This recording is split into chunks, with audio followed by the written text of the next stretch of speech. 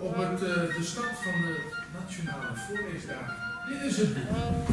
En het boek heet De Tijger slaapt. Vandaag zijn de Nationale Voorleesdagen begonnen. En hier op de regenboog zijn jullie wel heel bijzonder gestart. Absoluut. We hebben vandaag een heel prominent figuur uitgenodigd, namelijk uh, onze burgemeester Peter Snijders.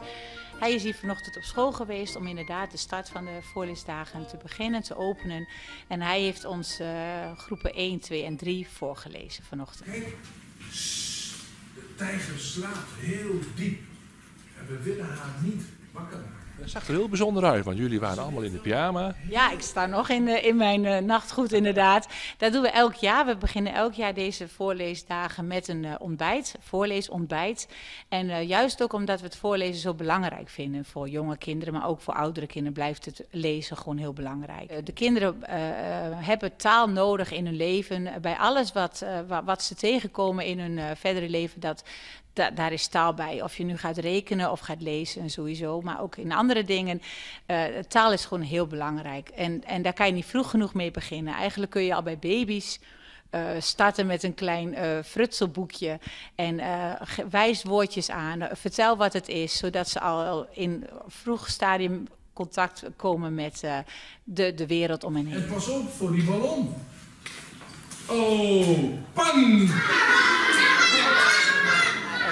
Voorlezen op zich is natuurlijk wel een hele sociale activiteit. Dat is ten eerste al heel erg belangrijk om dat samen met je kind te doen. Maar uh, juist kinderen die wat moeite hebben om de taal goed op te pikken, juist voor die kinderen is voorlezen dus een hele belangrijke basis. Ja, maar ik vind het ook zo leuk, want de burgemeester leest voor en je ziet meteen dat de kinderen er ongelooflijk bij betrokken zijn. Oh, dat is eng. Dat is eng. Wat verrassing. Een verrassing. Gefeliciteerd met je verjaardag, Tijger. Want Tijger is namelijk jarig. Oh, en daarom zijn alle dieren er. Om een verjaardagsfeestje te vieren met de tijger. En wil je ook een stukje taart? En dat is het verhaal van de tijger die slaapt. De belevingswereld van kinderen die gaat zo in, ja, de fantasie werkelijk, vooral in de groep 1 en 2, zijn nog zo, uh, liggen nog zo ver in, door elkaar heen. En je ziet inderdaad uh, wat, wat hij vertelt als, als, als er het heel spannend wordt, dat ook de kinderen kopjes ook inderdaad zo van, wow, wat, wat wordt dit, hoe gaat dit aflopen? En juist daarom het, het, ja, de wereld vergroten van je kind door middel van leuke verhaaltjes, dat is juist heel belangrijk.